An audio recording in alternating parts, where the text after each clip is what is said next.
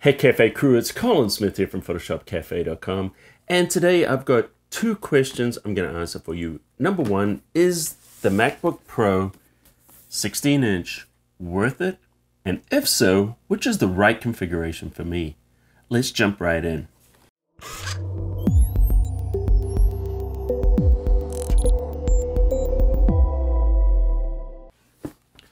So let's get this out of the box.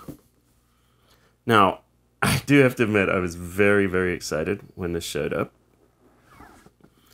And I'm going to kind of reproduce some of that excitement, I guess. So, as you can tell, I did a poor job of repacking it. I couldn't wait for the unboxing. And I actually already unboxed it. So we have the 16-inch MacBook Pro.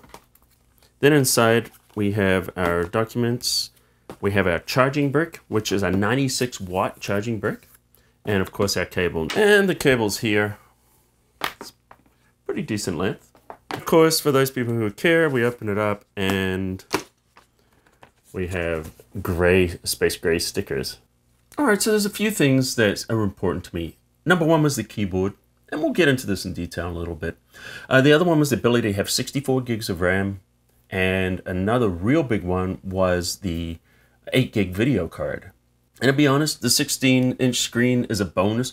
Wasn't that big a deal for me to upgrade. It might be a big deal for you, but for me, it wasn't the thing that made me want to do it. Okay, let's talk about this, and we're just going to kind of break it down. And then I'm also going to do some tests, and then I'm going to give you buying recommendations of, you know, which configuration should you get on the budget you're on. And there are some things in there that are just a total waste of money, and, and we'll get to all of that. All right, so first of all, looking at it, the form factor, you know, it looks very much like the previous model. You know, if you look at it, you can see here's the 2019 16 inch. Here's the 2018 15 inch. Now, one of the things that's kind of nice is I pulled it out of the box. I noticed immediately it's a little bit heavier and a little bit thicker. And you know what? I'm okay with that. I don't mind at all because I would rather have a little bit more space so we can have a better battery, we can have better cooling and all those kind of things. So if we just start with the size though, and we look at it compared to the uh, previous model, you can see, if I put that on top, you can see it's a little bit bigger. You can see there's the size of the previous one. And also if we look at the height, you can see the height is also a little bit different. So the ports are the same. We've got four Thunderbolt 3 ports, which are also USB-C, if you look on the sides there, two on each side, and a headphone jack. So the in and out haven't changed, mm, and we'll talk about all of this in depth in a sec. So when I look at the size, though, one of the things that's interesting is if I go back to the one that I did like before Apple completely redesigned it to the 2015 MacBook Pro, if you look at the size of the new one, the 16 inch, compared to it's almost identical. So if I look at the height, it's about the same as what it was. And then if I look at the footprint, the footprint is almost identical. Here we go, look at this. The 2015, 2019, look at that. Almost identical in dimensions. Now, one of the things I do notice is if I pick them up, there's definitely a little bit more weight in the 2015. So this tells me something really important. And if you have a look at the video I did on the 2016 MacBook Pro, I mean, I absolutely roasted it and it deserved to be roasted. In fact, I disliked it so much I returned it. And a lot of that reason was because Apple was putting aesthetics above performance. So in this case, it seems like Apple was listening in the sense that they're actually willing to make it a little bit bigger, make it a little bit heavier, and give us the things that we've been wanting for a long time. So the first one that we've talked about is the keyboard. So when we pop this open, and we compare it to the MacBook Pro before, we've got these horrible butterfly keys. Although this is the third edition, the 2016, they were really bad. They were super tacky, and you would click on them like this weird little clicking noise, like those little children's toys. Then it got a little bit better when it went into the 2017 model. It was a slight improvement. And then the 2018, the Butterfly 2, was definitely a huge improvement where I could actually type. Still didn't really enjoy it, but I could actually type on. However, when I go to the new one, it's got that one inch of travel, it's back to the scissor mechanism, and it feels so good. It feels like a real keyboard again. Um, not quite the same as the 2015. If you look at the 2015 one here, the keys are a little bit smaller, a um, little bit more travel, and a little bit more spongy. But honestly, like this acoustics and everything on here, it's nice and quiet. It feels good. I have absolutely no issues with the keyboard anymore. I can definitely say that.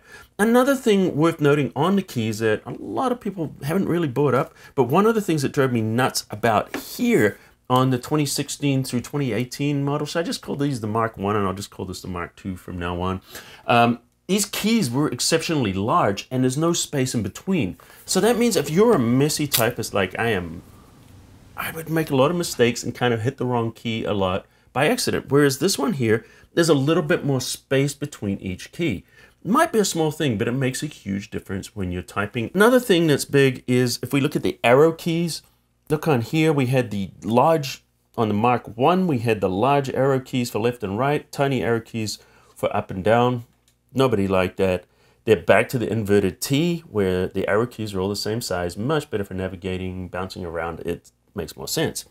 Really big, we've got the touch bar on the top, still there, but an actual physical escape key. So that means when it freezes up, you can actually get out of there, you can force it to do things. And I know a lot of people had issues with the escape key. And then on the other side, there's a physical button here for the fingerprint ID, and it also is the on-off switch. That's not actually new. I know some people have said it's new, but there's actually a physical one on the Mark 1. It just seems, it just didn't seem that way. It's just very kind of invisible. All right, keyboard, much better. Uh, touch bar, you know, pretty much unchanged apart from the uh, said physical escape key. Um, the trackpad is still this massive trackpad, um, but it's okay. They fixed the palm rejection in about the 2017, so we're not really getting problems with that. When it first came out in the 2016, um, your palm would kind of get on there. Palm rejection wasn't working very well, and sometimes you would accidentally, while you were typing, it would select a chunk of text and then move it while you were typing. So that's not really an issue, hasn't been an issue for a while now. Okay, when I look at the screen itself, um, the 16 inch screen is nice. It's nice, it's big, it has lots of real estate. Um, it doesn't necessarily feel like it's that much bigger. You know, it's not like suddenly you're looking at it and there's this huge screen. Yes, it's definitely noticeably larger than the 15 inch. But when I'm running Photoshop or Premiere Pro, I notice, you know, the bezel on the sides is much thinner. So it feels like the application is going across and taking up the full size of the screen, which is nice. One of the things I don't like about the screen is it's still this weird aspect ratio. It's a 161, I believe, whereas the rest of the world is working in 16.9. So if you look at HD or you look at Ultra HD 4K, you'll notice that those are in 16.9 aspect ratio as well, as are all your TVs and pretty much all other devices, monitors, everything are, except for this. Now, it doesn't really matter. What it does is it gives you a little bit of space above and beneath, which is okay when you're working in your applications and things like that. Um, of course, when you're watching movies, you're going to get those bars in there, unless you go full screen and you're cutting off the sides. Um, but, you know, we're not really, let's be honest, we're not buying a MacBook Pro to watch movies. Yes, that's a benefit, and apparently the six speaker system is really good. Haven't heard it yet. We will in a second. But um, yeah, for things like doing screen recordings, you have to use a third party application in order to get that 16:9 aspect ratio. So for people that are doing teaching, presentation, screen recordings, that can be a little bit of a pain, although we have been kind of dealing with that for many years now. All right, and let's just talk about the ports because we have to. So on board, there's four Thunderbolt 3 slash USB-C ports. This was a big deal in 2016. I think it was a little bit premature for Apple to be dropping support of USB Type A. But in this day and age, now that USB-C has been around for, you know, five or six years now, it's not really an issue anymore. Um, I actually wouldn't want to give up a Thunderbolt 3 port. So Thunderbolt 3 is the actual port type that is in here. Uh, the Thunderbolt 3s are twice as fast as the Thunderbolt 2s, has very, very fast bandwidth, and they can support three different things. They can support data transfer, they can support charging, and then they can also support video. So that means these same ports, I can use power, I can run external monitors, I can run four 4K monitors out of this, or I can run two 6K monitors out of this external. um, plus peripherals, and of course they can daisy chain. So those four ports enable us to pretty much do everything. So I'm actually okay not sacrificing these for a USB Type A because, you know, a lot of the peripherals I have now are not on USB A anymore. Um, because most of the devices I have now are USB-C or Thunderbolt 3. You know, things like the Wacom tablet now uses that, charging things for the phone, um, pretty much everything except for the charging cable for the iPhone. Uh, except for the charging cable for the iPhone 11 Pro. So as far as the slightly bigger chassis, this allows some additions of things. Cooling and battery. Number one is a bigger battery. It's 100 watt hour, which is the legal maximum that you can take on an airplane. So if it got any bigger, you couldn't take it on a plane. This makes it legal to take it on a plane. Now it's a, a LiPo battery, which is lithium polymer, same as what you use in your drones and pretty much every laptop uses. So as far as battery performance and life, um, I'll tell you what I've discovered so far, but I'm definitely going to give you updates into the notes underneath. So check out that in the descriptions and comments. Um, but for now, when I set this up, I got three and a half hours out of it. Now, when I say three and a half hours, this is a hard three and a half hours. Um, so I literally pulled this out of the box and I set it up. I installed all the Adobe software, the Microsoft software, all the utilities. So it was constantly downloading gigabyte upon gigabyte and installing applications. So, you know, the fans were going hard, the CPU, everything was working hard on here. And typical use probably would not be working that hard all the time unless you were rendering video. But under normal working conditions, I could see you could definitely get more battery life. Um, as far as our performance things, I, I will be comparing it to the 2018 fully loaded. This is the 2019 fully loaded. Let's talk about the specs. As far as the specs on this one, I maxed out everything except for the SSD but one terabyte SSD, it didn't make sense to me to spend the extra $2,000 to go up to eight terabytes of SSD, and I wouldn't recommend that for you unless you really need that space on board. Um, you can plug in drives, you can plug in, you know, RAIDs and different arrays that'll give you just as good a performance, and in some cases, even better performance than you can get from the internal drives. Unless you need one machine with all of this stuff on you, you know, then I would recommend not going any larger than the one terabyte. But the other things definitely worth maxing out. I got the 8 core i9 processors. I got 64 gigs of RAM. And now here's the thing about RAM too, is it doesn't per se make the computer run faster, but what it does is it allows you to do things like multitasking. Um, having multiple programs open. Say, for example, I'm working in Premiere Pro and I need to go into After Effects, I need to go into Photoshop, maybe I need to go to Audition, come back. I can run all of those without losing all the performance. Uh, the other thing is it works really well on really large file sizes. So sometimes I'm working on really, really huge uh, billboard-sized um, PSD documents. Also works really well with the um, RAM previews and After Effects. And also for things like virtual machines. So if you're running Windows on here at the same time, that extra RAM is going to enable you to run all of that at the same time without slowing down your machine. So it's not so much that RAM makes it work faster. What happens is a lack of RAM will make it work slower. And then one of the things that really is important, and I would always spend your budget on this when you can, is the video memory. So I went for the bigger video card, which is the 8 gigs of uh, GDDR6. Um, um, definitely worth it's like $100 or something. It's just, that's just a no-brainer. Uh, the three main reasons for me to get this, number one was the keyboard. Number two was the better video card. Number three was more onboard RAM. Then secondary to that is the faster CPUs and of course the beautiful screen and you know and everything else was just kind of like afterthoughts to me. You've got to determine what it is that you want. So if you have one, it's like, should I upgrade? Should I buy one of these? Well, why? Why do you want it? What do you need? So the other thing I've been talking about here is the onboard stuff, the speakers and the microphone. So, you know, they're claiming it's studio quality microphone. So there's a three mic array built into here. I gotta be honest, I've always been really impressed with the quality of the mics in the MacBook Pros. Um, you know, I've used them in a jam where I've had to record tutorials or whatever from my hotel room, and they've always worked well. So I'm actually excited to try it out and see how the new mics are. Okay, so here I am speaking. Um, you're used to hearing my voice on the professional mic. This is a Sennheiser uh, G3 and this is what I sound like on there, and also is what I sound like on the 16 inch MacBook Pro, and also what I sound like on the previous model, the 15 inch MacBook Pro. So you can hear the audio, and I'll just play that through and let you guys decide what you think about the quality of the microphones.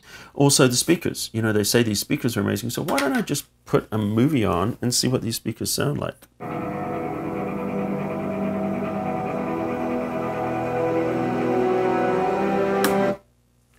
Okay, that is eerie in a good way.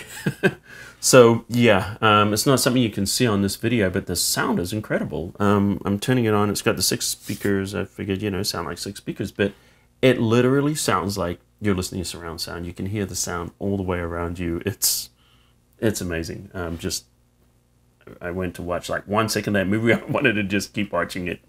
Um, okay, that is impressive. So why don't we jump in and do some tests now and see if this lives up to my expectations. Now, all right, it's time to do a comparison between the 2019 16 inch and the previous model 2018. Uh, both of these are specced out except for the SSD, everything else, the CPU, the RAM, and the uh, video are all maxed out to top of the line. And so this other one here, the 2018, is no slouch. It's a i9 uh, 6 core with 12 threads. Of course, the new one is 8 core with 16 threads. Let's jump in and do some real world tests with these. So for the first test, we're going to use Photoshop. Let's start with a large document. It's over 12,000 pixels wide. It's got five layers on it. And we open it pretty instantly on both of these. So the first test we're going to do is we're going to quadruple the size of it. So we're going to resize it to 1200 dpi. And then to make it more interesting is we are actually going to use the AI algorithm and we're going to turn the noise reduction up to 100. The 2018 MacBook Pro comes in at 1 minute and 21.82 seconds. The 2019 comes in at 1 minute 11.8 seconds. So that's about 10 seconds faster. And now this document is 50,000 pixels by 11,420 pixels. And we're going to save it. It's a 4.32 gigabyte file when it's saved. The 2018 MacBook Pro saves this in 34.36 seconds. The 2019 is 36.32 seconds. Now let's add a blur to this. Now it's too big to do a radial blur, so the most difficult blur that I can see is the shape blur. So we're going to apply a shape blur with this tree, and we're going to do 10 pixels. The 2018 MacBook Pro comes in at 1 minute and 10 seconds. The 2019 MacBook Pro comes in at 48 seconds. So that's significantly faster. Let's jump in and see what we can do with After Effects really quick. So what we're going to do is we're going to take some drone footage and I'm going to apply warp stabilizer on it. It's just a 7.5 second clip. So the 2018 MacBook Pro, it takes it almost two minutes. It's one minute and 59.36 seconds. And then the 16 inch 2019 MacBook Pro comes in at 1 minute and 14.88 seconds. So that's around about 45 seconds faster.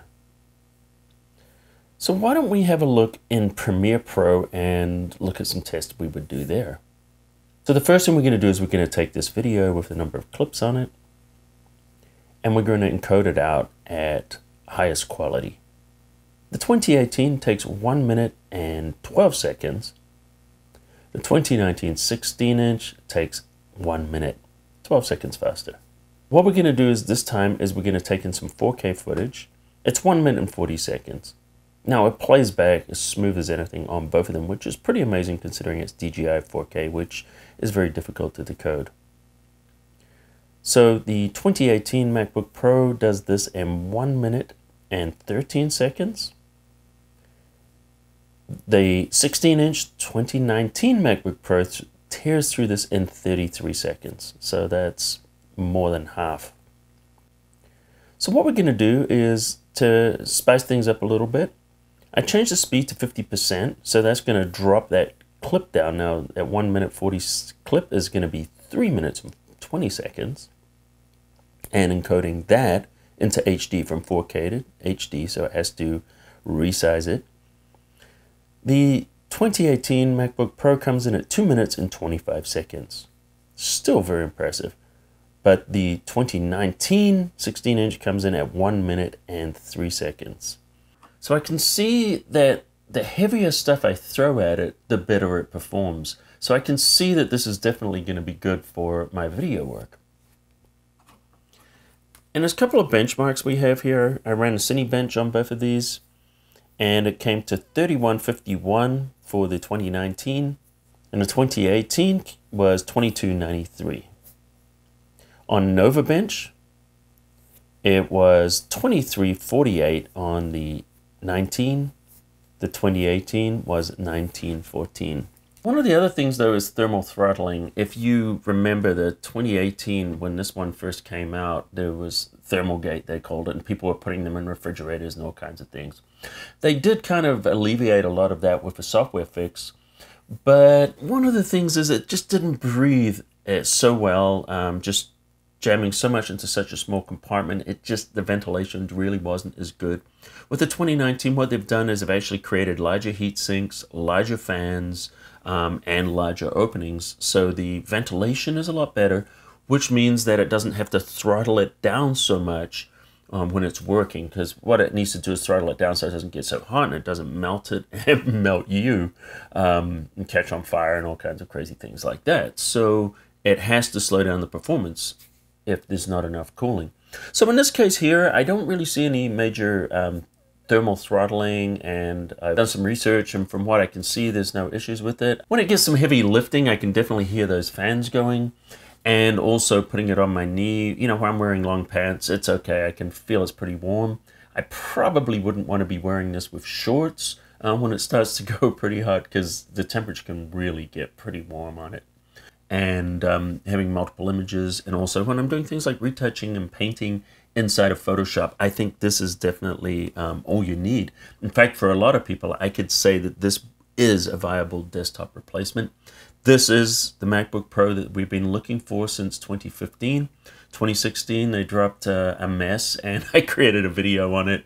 Um, and you can see I was definitely not kind on that. Um, and that video got quite a bit of attention. But, you know, the thing is, I'm not paid by Apple.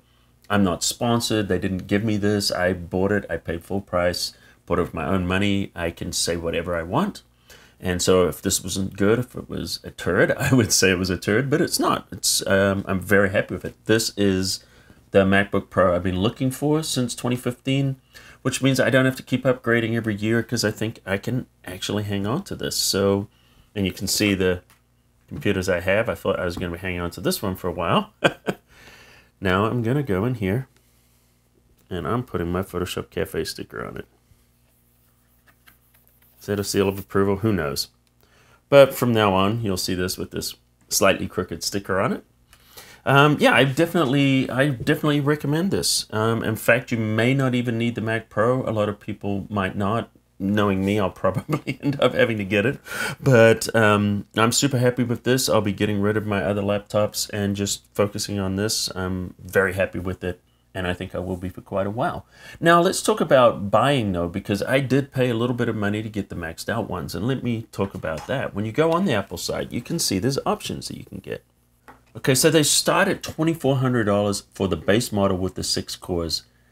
Um, if you have a little bit of money, I would not recommend getting that one. I think you're better to spend the extra $400 and move up to the 8 core one. And the reason for that is for that money, you're getting um, more CPU for your money, but also you're going from the 512 to the one terabyte SSD. The 512 is going to be a little bit tight if you've got your programs and you are keeping some files on there. One terabyte seems to be a manageable size, at least for me. Um, so I would definitely spend that $400 if you could and get that one. Let's look at a couple of the other things. So if you do that, that's going to bring you in at $2,800. And this is like just for the minimum that you really want to go to. Um, I would definitely spend $100 for the 8 gig video card. That would take it to $28.99. Um, there's no reason why you wouldn't spend that hundred dollars for that. Um, just totally makes sense. And then, of course, if you have a little bit more budget and you want to buy some of the RAM, you know, I would take it up to 32. It's going to be an extra $400 if you take it up to 32 gigs. Um, but then that's going to get you in at about $32.99. So the base is 2400 For $32.99, you can get the base, but what you're getting is a one terabyte. You're getting the i9 with eight cores. You're getting extra RAM up to 32, which is which is enough for most people. And of course, you're getting that 8 gig video card. You know, if you want to max it out, it's going to cost you $38.99 before tax and Apple Care. Now, you can spend an extra $2,000 and max out that SSD if you want. And that's going to take you to about six grand. But unless you really need to have that on your computer, you really, really need that eight terabytes on the computer and you can't have external drives for some reason, um, maybe some travel restrictions or something like that. Um, unless I had a really compelling reason, I wouldn't spend the money on that. I would save that $2,000 and just buy some external drives. And external SSD drives are definitely coming down in price. And you can even buy RAIDs, um, which are even faster. You can buy SSD RAIDs that are even faster than the internal drives. And they're just more expandable and you can switch out those drives. I tend to stay away from maxing out the solid state on the Apple devices because – I think they overcharge for the solid state drives, and they also kind of overcharge for the RAM. Now, in this situation, you can't upgrade any of this. So, if all you can afford is a 16 gigs of RAM, then you know go for it. But if you can spare the budget and bring it up to 32, or in my case, I even took it up to 64, um, that's gonna make this machine last a little bit longer into the future because these things are going to last a while, um, and most people, when they get these, are going to be hanging on to them for a few years. So you want to think about that too. You know, as the 16 gigs of RAM might be okay for now, you might be scraping by. If it's the bare minimum right now, in another year or two, you're going to find yourself in a situation where maybe you have to buy a new machine because it's just not keeping up with your needs. So you've got to really think about that and think about your needs so anyway, guys, um, thanks for watching this, and I hope I've given you some useful buying advice. Um, I've tried to keep it as realistic as I possibly can. You know, I'm not hyping it up or trying to be an Apple fanboy or an Apple hater or anything like that. Just keeping it very realistic with what we have in front of us. And, um, you know, and what I recommend is, you know, have a look at what your needs are and what your budget is.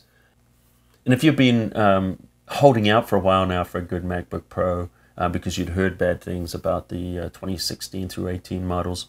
Now's the time to take the plunge. This is great. Um, I have no reservations about recommending this. This is a great MacBook Pro. I think I'm just going to forget 2016 to 18 ever happened because that was just dismal years in, uh, in, with Apple as far as I'm concerned with the MacBook Pros. But now they've been listening to people and they've got it right. So anyway, guys, I'd love to know what you think about this. Um, let me know in the comments underneath. I'd love to hear your thoughts. And also, if you like the occasional tech video and you also like tutorials on Photoshop and Lightroom, uh, subscribe to Photoshop Cafe and you'll get a new video from me every single week. Make sure you ring the notification bell so you know when I upload, which is usually every Tuesday. And for those who've been watching, you know what I'm going to say next. If you like it, smash the like button into dust. Be part of that smashing squad or something. No, that's I'm not going to make that a thing. Don't worry and it's late and I've got to edit this video and upload it before tomorrow morning so you guys can all watch this. So thanks for hanging in there with me and uh, until next time, I'll see you at the cafe.